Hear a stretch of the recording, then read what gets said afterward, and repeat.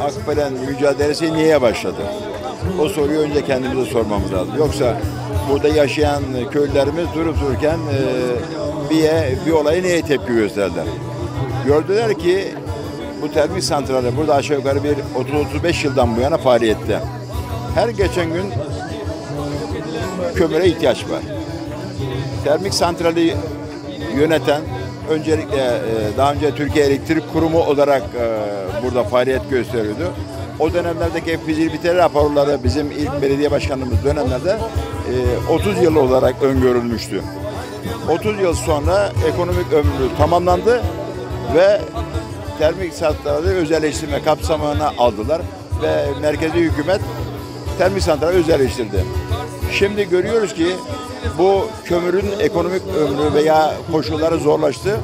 Kömür derine indi, devlet buradan çekildi. Daha önceki dönemlerde kömürü dışarıdan ithal ederek bu termik santrallerde çalıştıracağız diyen yönetim bu sefer buradaki derindeki kömürü çıkarmaya başladı ve termik santralin e, bu kömürünün alan itibariyle daha geniş alanı, daha e, fazla orman yok olmasına neden oldu. Tabi ormanın yok olmasıyla doğanın tahribatıyla beraber yeraltı sularında eksildiğini gördük.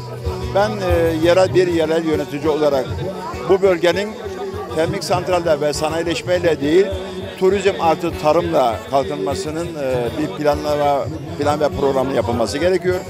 Ve bu bölge her geçen gün insan için gerekli olan suyun bu doğanın tahribatıyla azalacağını Yalnız insanlar etkilenmeyecek, canlılar da etkilenecek burada.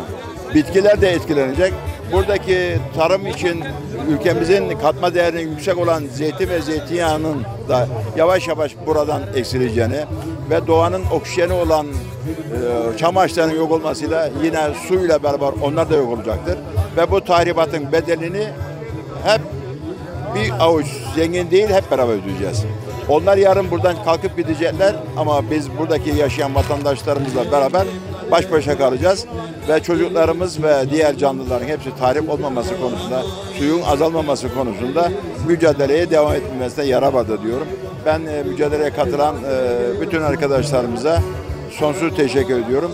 Doğa hepimize, bütün canlılara ihtiyaç vardır diye diyorum. Bundan önceki büyük buluşmada da e, Akbelen'e gelmişsiniz, nöbet alanında konuşma yaptınız yanlış hatırlamıyorsam. Bugün de desteğe geldiniz. E, belediyeniz olarak bundan sonra Akbelen mücadelesinde Milas Belediyesi nasıl bir konumda yer alacak? Yani bir önceki yönetimden farkı ne olacak sizin yönetiminizin? Tabii bu mücadelede e, olan köylülerimiz başta olmak üzere bu bölge insanımızın da e, bu doğa tahribatından etkilendiğini görüyorum. Tabii bu etkilenmenin e, süreci içerisinde ülkemizin değişik bölgelerinden gelen hassas vatandaşlarımız var. Yani bu konuya duyarlılık gösteren bu vatandaşlarımızın e, tepkilerini de biz belediye, belediye olarak e, yani ihtiyaçları nedir ne değildir bize bildirdikleri takdirde onlara yardımcı olmaya çalışıyoruz. Şu andaki bizden istedikleri suydu. Zaten bu mücadelede bir suya ihtiyaç olacağından dolayı o mücadelene suyla destek olmaya de- devam ediyoruz.